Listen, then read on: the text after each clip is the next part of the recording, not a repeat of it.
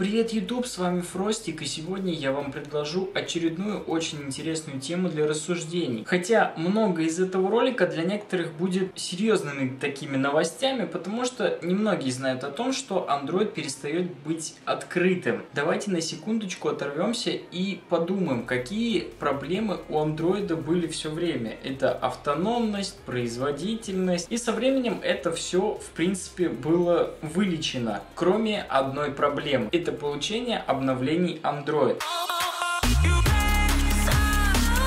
Из-за того, что операционная система открытая, все производители делают смартфоны на Android. При этом стараются туда внести какие-то свои изменения, свои приложения, внедрить какие-то свои сервисы, свои оболочки, свой интерфейс, из-за чего при выходе нового андроида производителю приходится полностью перерабатывать операционку для каждого смартфона. И далеко не все этим занимаются, как правило, только для флагманских смартфонов. И, как правило, только гиганты-производители. Раньше ситуация была совсем плачевная, и разброс по версиям Android был просто крайне огромен. А новые версии Android получали всего порядка 6-7% устройств. То есть это обычно все устройства Nexus и какие-то флагманы. Для сравнения, на сегодня до сих пор 30% пользователей Android сидят на KitKat версии 4.4 и 30% сидят на версии 5.1. Напомню, что Android N для Nexus, пусть и девелоперская версия, вышла уже почти год назад. И вот осенью Android 7 будет уже официальным. Apple всего за год способна обновить 85% всех своих устройств на новую версию операционной системы системы. А мы до сих пор думаем, почему же у Apple все так хорошо в сравнении с андроидами. В последнее время, конечно, темпы обновлений Android устройств растут и ситуация частично исправляется, но тем не менее производители не могут угнаться за официальным выходом новых версий Android и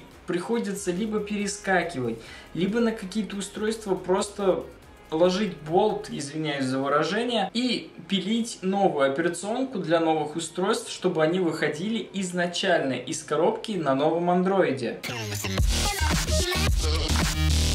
Я недавно говорил, и в принципе для тех, кто еще не знает, повторюсь. Раньше Android позиционировался как открытый проект, то есть AOSP. Android Open Source Project. И абсолютно все сервисы, все приложения, вся операционная система в целом была открытой для пользования. Любой мог ее взять, выпустить свой телефон на ней. И в принципе Google были не против. На данный момент с продажи каждого устройства Google имеет всего 1 доллар. Будь то планшет, будь то смартфон. То есть производители никаких денег не платят за операционную систему и за то, что они ее как-то перерабатывают, что-то с ней делают и используют в своих целях. С недавнего момента Google стала некоторые сервисы прикрывать, то есть внедрять свои приложения, которые имеют уже закрытый исходный код. Например, это Google Chrome, это почта, это камера. В общем, об этом я уже тоже говорил. И как бы теперь чистый Android не является чистым. То есть в нем есть сервисы, которые имеют закрытый исходный код и которые производители не могут использовать в своих целях, перерабатывать или что-то с ними еще делать. А недавно Google заявили о том, что следующее обновление для операционной системы не будут касаться AOSP проектов. То есть Android будет получать все обновления только с закрытым исходным кодом, что означает, производители могут остаться без них. Это постепенный переход из открытого проекта в закрытый. То есть Android постепенно станет такой же, как iOS. И, честно сказать, радоваться этому или плакать непонятно. С одной стороны, большинство устройств будут очень быстро получать обновления, потому что они будут обновляться напрямую с Гугла. В них будет гораздо меньше мусора, никаких лишних оболочек, соответственно, оптимизация лучше, все новые фишки будут появляться почти сразу,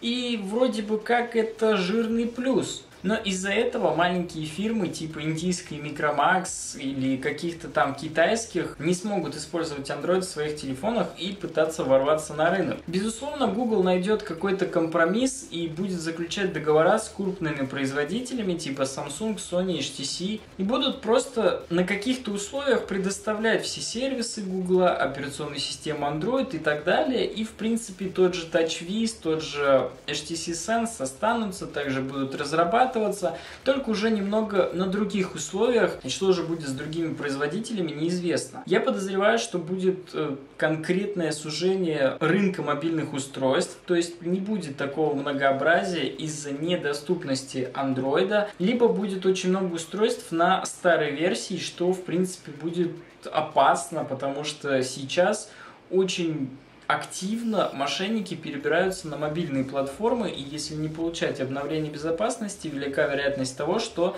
вас обуют. Для чего это все делается? Изначально, в далеком 2009 году, когда операционная система только-только появилась на свет, скажем так, ее цель была добиться того, чтобы производители сделали качественный смартфон. И на протяжении многих лет производители ставили эксперименты, пытались операционную систему переработать под себя, делали огромное количество количество устройств. И на данный момент мы пришли к тому, что устройство может выпускать просто каждый, все кому не лень.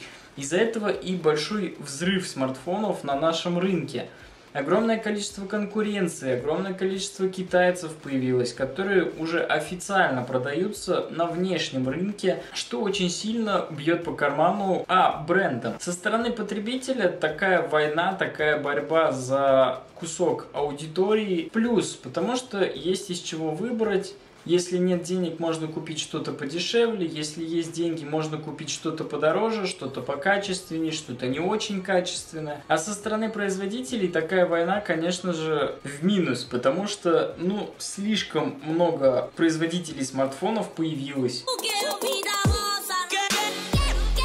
Ну что ж, Google старается навести порядок, победить тот самый бардак, который уже на протяжении многих лет э, расстраивает нас. Тот самый бардак, из-за которого сторонники Apple продукции пытаются нас хейтить, и это похвально. Обязательно пишите в комментариях, что вы думаете по этому поводу. Как вы думаете, какой будет закрытый Android? Сможем ли мы ставить туда рекаверы, кастомные прошивки и творить черти что, как сейчас? Хорошо это или плохо? Какой расклад вам больше нравится? Открытый проект или же закрытый? Кстати, напомню, что у Meizu FlameOS тоже закрытые исходники. И из-за этого большинство этих устройств перепрошить нельзя. На этом у меня все. Подписывайтесь на мой канал, ставьте пальцы вверх, пишите комментарии обязательно. Ссылочки в описании под видео и также на ваших экранах снизу. До новых встреч. Пока-пока.